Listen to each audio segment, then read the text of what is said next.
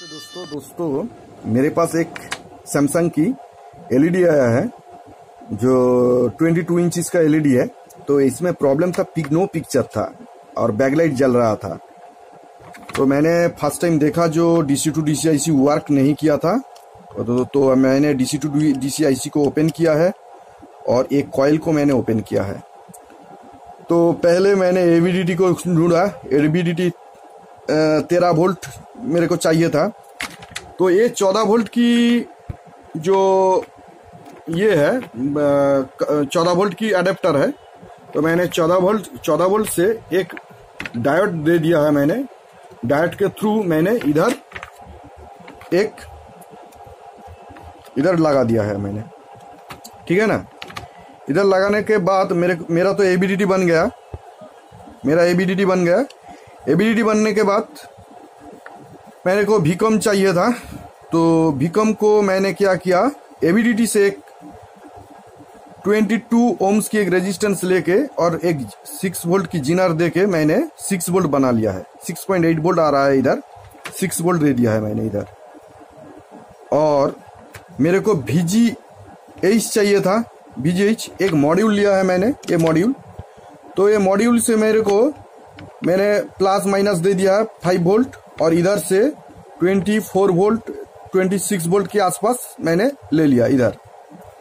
लेके मैंने मेरे को भीजी एच मेरे को हो गया।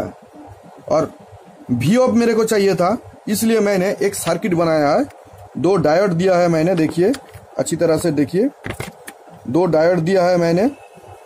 दो डा, दो डायोड के मिडिल पॉइंट में मैंने एक पीएफ लगा दिया है। और पीएफ से मैंने पीएफ को ऑसिलेट दिया मतलब स्विच स्विचिंग दिया है।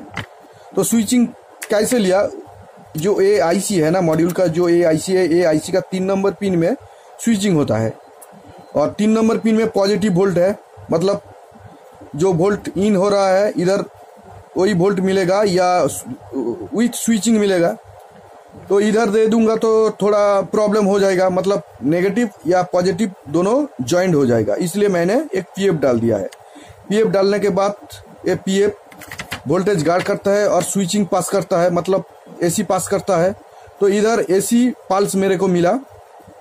ये एसी पल्स कहाँ से आ रहा है? इधर से आ रहा है। ये तीन नंबर पिन में पिन से आ रहा है। ठीक है ना? तो ये क्या एक इधर मेरे को मिला।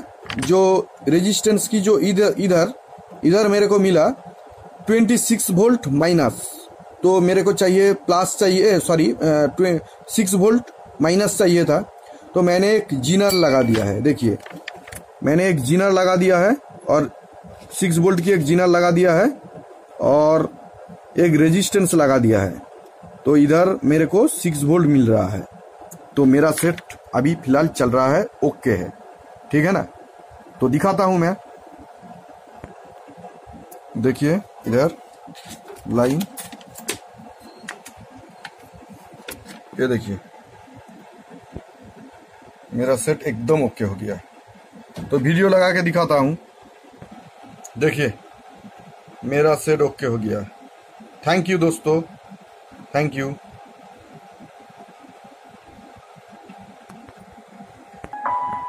थैंक यू दोस्तों।